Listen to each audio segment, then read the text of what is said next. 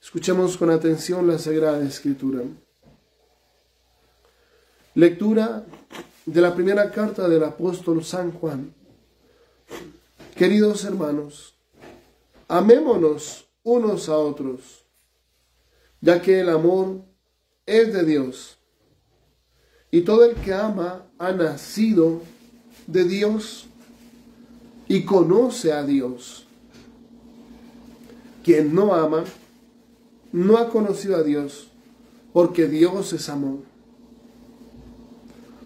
En esto se manifestó el amor que Dios nos tiene, en que Dios envió al mundo a su Hijo único para que vivamos por medio de Él. En esto consiste el amor, no en que nosotros hayamos amado a Dios, sino en que Él nos amó y nos envió a su Hijo como víctima de propiciación para nuestros pecados. Queridos hermanos, si Dios nos amó de esta manera, también nosotros debemos amarnos unos a otros. A Dios nadie lo ha visto nunca. Si nos amamos unos a otros, Dios permanece en nosotros y su amor ha llegado en nosotros a su plenitud. En esto conocemos que permanecemos en Él y Él en nosotros, en que nos ha dado de su Espíritu. Y nosotros hemos visto y damos testimonio de que el Padre envió a su Hijo para ser Salvador del mundo. Quien confiese que Jesús es el Hijo de Dios, Dios permanece en Él y Él en Dios. Y nosotros hemos conocido el amor que Dios nos tiene y hemos creído en Él. Dios es amor y quien permanece en el amor, permanece en Dios y Dios en Él. Palabra de Dios. Te alabamos, Señor. Bendigo al Señor en todo momento. Bendigo al Señor en todo momento. Bendigo al Señor en todo momento. Su alabanza está siempre en mi boca. Mi alma se gloria en el Señor. Que los humildes lo escuchen y se alegren. Bendigo al Señor en todo momento. Proclamen conmigo la grandeza del Señor ensalcemos juntos su nombre. Yo consulté al Señor y me respondió, me libró de todas mis ansias. Bendigo al Señor en todo momento. Contémplenlo y quedarán radiantes, su rostro no se avergonzará. Si la vida invoca al Señor, Él lo escucha y lo salva de sus angustias. Bendigo al Señor en todo momento. El ángel del Señor acampa en torno a sus fieles y los protege. Gusten y vean qué bueno es el Señor. Dichoso el que se acoge a Él. Bendigo al Señor en todo momento. Todos sus santos teman al Señor, porque nada les falta a los que le temen. Los ricos se empobrecen y pasan hambre. Los que buscan al Señor no carecen de nada. Bendigo al Señor en todo momento.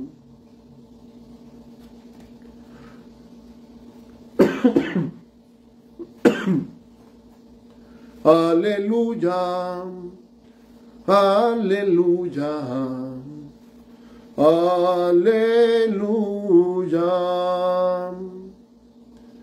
El Señor esté con ustedes y con tu espíritu Lectura del Santo Evangelio según San Juan.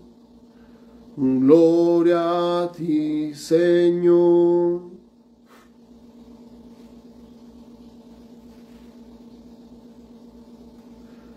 En aquel tiempo, muchos judíos habían ido a ver a Marta y a María para darles el pésame por su hermano.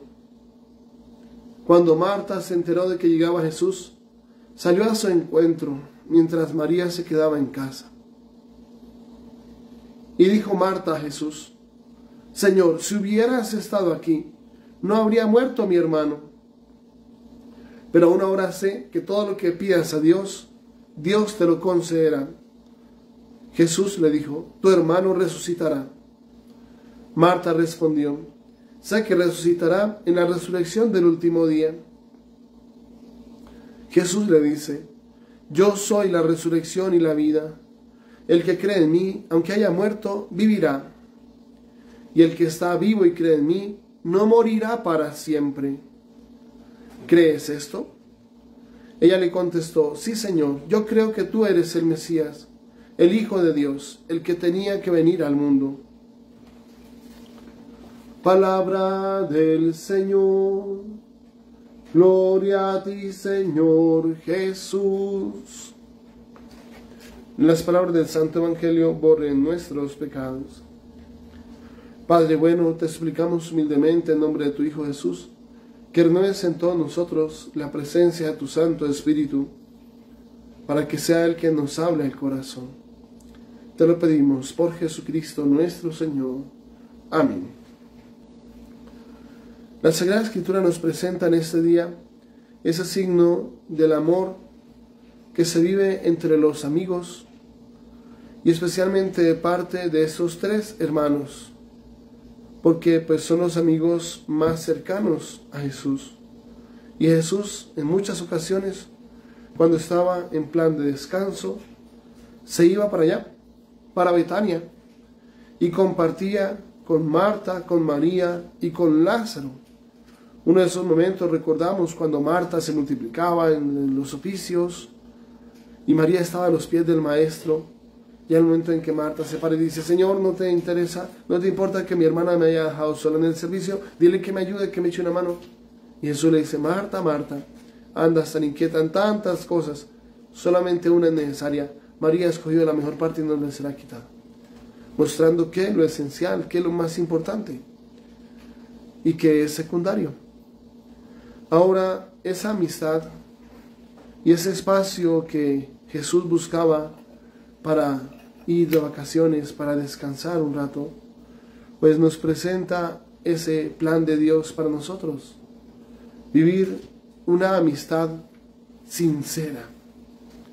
Una amistad sincera. La verdadera amistad. Que no es la que el mundo hoy nos presenta como amistad donde pues, está el desorden, el disfrute, el trago, la rumba, la fiesta, y como si eso fuera la, la forma de celebrar, sino que es una sincera compañía. El brindar en la humildad y la sencillez, ese servicio a Jesús y estar ahí para Él. Esa amistad es la que brota del verdadero amor. Amor que debe caracterizarnos a todos nosotros. El verdadero amor. Y es una amistad desinteresada, que no está ahí porque puede sacar beneficio, porque tenga intereses personales. No, una amistad sincera desinteresada. Una amistad más aún que es donación, que es entrega. Y esa amistad hay que buscarla. Bien sabemos, el Señor nos ha dicho que amigos verdaderos entre mil uno. Y que el que tiene temor de Dios alcanzará esa amistad. Que entre mil hay uno. Pero ese es un don de Dios que el Señor concede. La amistad como un don de Dios, un don maravilloso que viene de parte de Dios y que son signos de la bondad de Dios a través de las personas que nos rodean. Ahora, es necesario que esa verdadera amistad pase por la verdadera caridad, porque hoy en nombre de la amistad y en nombre del amor se quieren justificar muchas cosas que no son de Dios, cosas que son nocivas, cosas que son destructivas, y hoy en nombre de la amistad se quiere presentar como que es algo bueno, que está bien, que no pasa nada. Dentro del plan de Dios, que es perfecto, lo que Él permite siempre es para bien. Y pues dentro de ese proceso es necesario aprender a confiar en el poder de Dios y en la amistad con Dios. Lo demás vendrá por añadidura.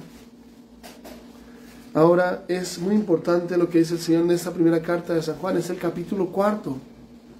Dice, queridos hermanos, amémonos unos a otros, ya que el amor es de Dios y todo el que ama ha nacido de Dios y conoce a Dios. Quien no ama no ha conocido a Dios porque Dios es amor. En esto se manifestó el amor que Dios nos tiene, en que Dios envió al mundo a su Hijo único para que vivamos por medio de Él.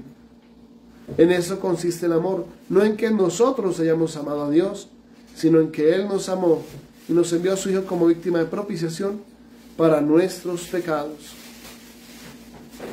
Queridos hermanos, si Dios nos amó de esta manera, también nosotros debemos amarnos unos a otros. A Dios nadie lo ha visto nunca.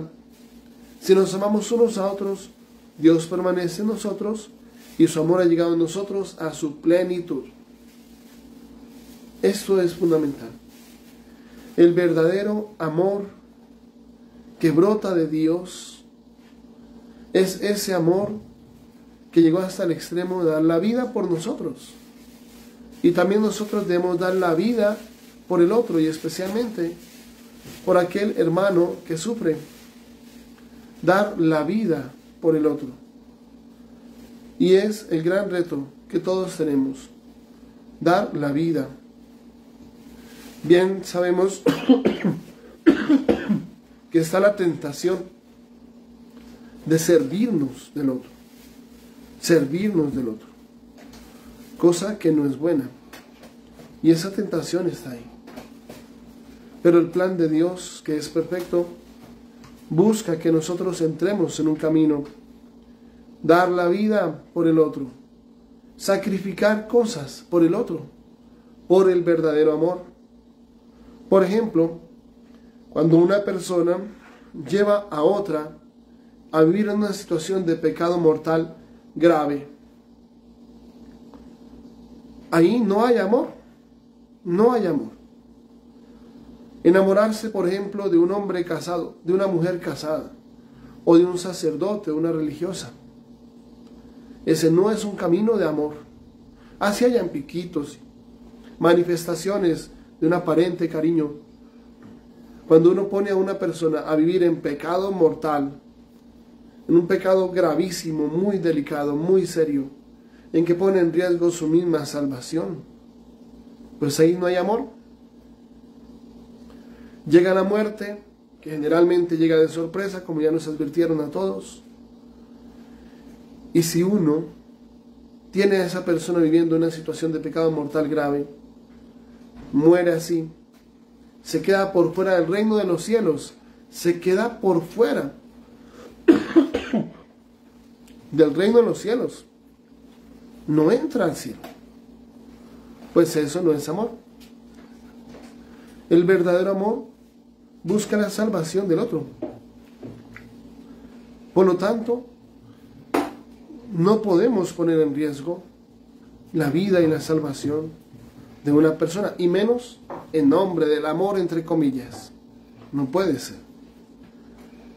El mismo tema de la famosa unión marital, de hecho, que el diablo llama unión libre para hacerle creer que el matrimonio es lo contrario, que es una esclavitud, que es algo malo. La unión marital, de hecho, es poner al otro en una situación de pecado mortal gravísimo. Un pecado gravísimo, un pecado mortal de los más terribles, que es el tema de la fornicación. Efesios 5:5 nos va a decir de una forma muy clara que ningún fornicario, ningún fornicario, entrará en, no tiene parte en la herencia de Dios ni de Cristo. No tiene parte en la herencia de Dios ni de Cristo, o sea, se queda por fuera del reino de los cielos. Entonces, llevar a una persona a vivir así, no, que es que vamos a ver cómo nos va, es que vamos a experimentar a ver cómo nos sentimos. No, porque está poniendo a la otra persona en riesgo de condenación. ¿Y a cambio de qué? De nada, nada bueno queda de eso. Además, si uno comienza una vida sin Dios, una vida al margen de Dios, donde sus mandamientos es lo primero que dejamos a un lado, no espere tener éxito. Y si llega a tener éxito, es una cosa del maligno. Una cosa del maligno. Para hacerle creer que no pasa nada, que está muy bien, que, que ese es también un estilo de vida. Y resulta que no. El Señor ha sido muy claro con nosotros y nos ha mostrado que el camino de la salvación es el camino de los mandamientos, de la vida sacramental, de las virtudes, de las obras de misericordia, de la santidad en el estado de vida, es la forma como alcanzamos la salvación. Y no podemos poner en riesgo a una persona por el tema, por ejemplo, de la famosa unión marital de hecho, mal llamada unión libre. Porque efectivamente cuando usted muere en esa situación de pecado mortal gravísimo, se para ante Dios, no le va bien. Porque la Sagrada Escritura dice que no entrará en el reino de los cielos, que no tiene parte en la herencia de Dios ni de Cristo. Y alguien dirá, Padre, pero apenas llevamos tres días de unión marital de hecho. Apenas nos acabamos de pasar una nueva casa, ni siquiera hemos desempacado las cosas del trasteo. Sí, pero si anoche hubo intimidad, esa fornicación. Y al día siguiente muere, tal vez durante el sueño, tal vez de una forma que ni se da cuenta qué horas fue y cómo fue, puso en riesgo la salvación eterna del otro. Eso no es amor. No es amor. Aunque el mundo le llame que eso sí es amor, que es el verdadero amor, que no. Porque hoy en nombre del amor están justificándose muchas cosas. ¿No es el contexto en que se está justificando el tema de las relaciones poliamorosas? Que ahora ya es vivir una orgía permanente, que usted sabe vivir con otra mujer y con otros dos hombres, cinco personas ahí en la misma casa y que es una relación poliamorosa, es que tienen tanto amor que se aman los cinco. Y en la noche van a la cama los cinco para hacer todas las combinaciones posibles, él con ella, ella con él, él con él, ella, ella con ella, el primero con la segunda, con la tercera, con el quinto, es un desorden total. Y todo justificando lo que es mucho amor el que se tiene, que es una relación poliamorosa, el poliamor no es de Dios. Y cuando el maligno se mete por ese lado es porque él sabe que a uno le va mal, que uno viviendo en una situación de orgías todos los días, pues llega la muerte y no es que le vaya muy bien. Está rechazando totalmente el plan de Dios. Está entrando en un camino que puede ser, por cierto, muy peligroso y que es el camino del pecado mortal. Uno no se da cuenta de la gravedad del asunto. Uno no se da cuenta hasta dónde puede llegar la situación, que puede ser muy grave, muy, muy grave. Uno no se da cuenta de eso. Pero esa es la realidad que, que uno está viviendo y que pone en riesgo la salvación. Lo mismo que buscar una pareja del mismo sexo. Dios fue el que dijo en su palabra que el homosexualismo no es. Punto. Es Dios el que nos dice en su palabra que ese camino del homosexualismo es un camino de muerte, camino de condenación. Es Dios el que dice eso en su palabra. Y así todo el mundo opine lo contrario y que está muy bien, que nos gusta, como les decía en la inauguración de los Juegos París 2024, los Juegos Olímpicos. Pues una cosa muy fuerte, exaltando el tema del aborto, exaltando el tema de de la pedofilia, porque aparece drag queens bailando con niños. ¿sí? Es un tema muy delicado, impulsando que la pedofilia está bien, que los niños a sus 8 años ya se están demorando en el tema sexual, que deberían empezar a los 8 años, con eso disfrutan más tiempo, que están demorados. Es que ese no es nuestro mundo, justificando eso, corromper a los niños, pervertir a los niños y especialmente dándolos por el mundo del homosexualismo. Si Dios mismo dice que no, que el homosexualismo pone en riesgo su salvación, que no entra en el reino de los cielos, como está en 1 Corintios 6, versículo 9 en adelante, como está en 1 Timoteo 1, como está en Romanos 1, 17, verso 17 en adelante, Levítico 20, donde prohíbe el homosexualismo, Génesis 18 y 19, y dice que no heredarán el reino de los cielos. Entrar en ese camino y hacer que alguien entre en ese camino es poner en riesgo su salvación, no es el camino. Es poner en riesgo su salvación. Y ese es un tema sumamente delicado y que hay que pedirle al Señor con todo el corazón que nos oriente. Porque el verdadero amor nunca pone a otro en riesgo de condenación. El verdadero amor, el amor auténtico, el de Dios, nunca pone en riesgo de condenación a nadie. No olvidemos que no tenemos comprada la vida, que hoy estamos aquí. Pero no sabemos si mañana vamos a despertar, si todavía estaremos en este mundo. Que perfectamente puede pasar que no. Hoy despertamos, pudo no haber sido así. Piense cómo está hoy. Si le hubiera tocado darle cuentas a Dios hoy, si hubiera muerto hoy, ¿no será que está durmiendo con alguien con el que no debería dormir? ¿Cómo estamos hoy en el camino de la salvación? Por eso amigo, amigo verdadero, no es el de la rumba, no es el de la fiesta, no es el del trago. Muchas veces sus amigos son los primeros que desaparecen cuando usted se enferma, cuando usted llega a una situación crítica a nivel económico, cuando llega a la cárcel por alguna situación, un error o tal vez por una calumnia. Los verdaderos amigos son los que están allá al lado de la cama del hospital. Esos son los verdaderos amigos, no los de la fiesta, la rumba y el trago, no los del desorden. Porque hoy se justifica muchas cosas diciendo que es que la amistad. Y entonces usted se va a casar y el día anterior le llevan la despedida de soltero con un montón de muchachas desnudas. No, eso no son amigos. Para nada son amigos. No le están invitando a vivir la fidelidad ni nada de eso. Son sus peores enemigos. Y si va a iniciar su vida de matrimonio con una situación de desorden, de pecado gravísimo el día anterior, que ni alcanzará a comenzarse el día siguiente porque llega con guayabo a la celebración de su matrimonio, pues ahí está mostrando que no son amigos, son verdaderos enemigos, pero son lobos disfrazados de oveja, lobos con piel de oveja. Porque muchos hacen creer que es la amistad, que son los amigos, que entre más trago le inviten mejor, que le tienen más aprecio. No son amigos, son sus peores enemigos, lobos disfrazados de oveja. Son los primeros que quieren que su matrimonio se acabe son los primeros que quieren que del mismo día de la boda ya la novia se está arrepintiendo porque el día anterior fue un desorden. Y son los que le toman el videito y se lo mandan a la esposa a ver si se acaba el matrimonio antes de que empiece. Porque es así.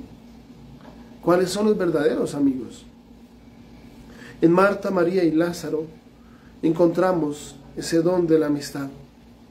Seamos verdaderos amigos para todos los que nos rodean. No pongamos en riesgo su salvación. Hay cosas más valiosas y son eternas. Pues que no pongamos en riesgo nada de lo que Dios nos ha regalado. Que nuestra Madre del Cielo nos ayude a vivir la verdadera amistad. Así sea.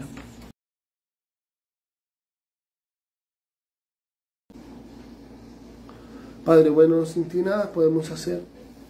Hoy queremos suplicarte con humildad que renueves en todos nosotros la presencia de tu Santo Espíritu para que sea el quien nos hable el corazón. Que tu Santo Espíritu, amado Señor, obre maravillas en nosotros y en nuestras familias y nos llene de paz. Te lo pedimos a ti que vives y reinas por los siglos de los siglos. Amén. El Señor esté con ustedes, con tu Espíritu. La bendición de Dios Todopoderoso, Padre, Hijo y Espíritu Santo, descienda sobre ustedes, sus familias, y permanezca para siempre. Amén la alegría del Señor es nuestra fuerza, pueden ir en paz. Demos gracias a Dios. Feliz día, feliz, feliz semana para todos. Aunque te digan algunos que nada puedes cambiar, lucha por un mundo nuevo, lucha por la verdad. Ven con nosotros al caminar. Santa María, ven María, ven con nosotros al caminar. Santa María, ven.